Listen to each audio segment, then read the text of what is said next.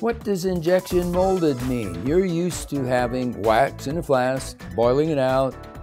You're not, but the laboratory technician is, putting some putty in there, squishing it down. It opens the flask. It's never accurate. Injection molded dentures mean whatever the wax was, so is the denture. I haven't made a one out of a typical flask that was just pushed together for about 25 years. Injection molded mouth guards are similar.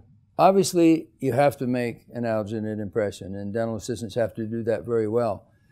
Uh, and, and, a lower cast and an interocclusal record, and it's mounted on an articulator, so uh, the bite is really very close. The laboratory technician then uses a surveyor to block out any undercuts, and uh, there is the cast representing that block out.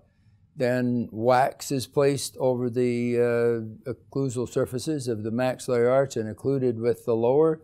It is then boiled out and injected with the special polymer that relates to the need for a, a mouth guard. Very flexible, easy to place, and uh, comfortable for the patient.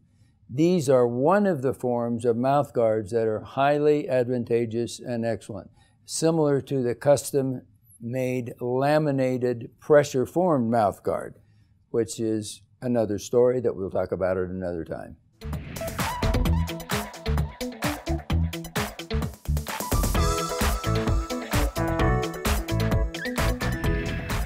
And for continuing information from us, please go to our website, pccdental.com. There are constantly changing informational and educational pieces there that we would love to have you see.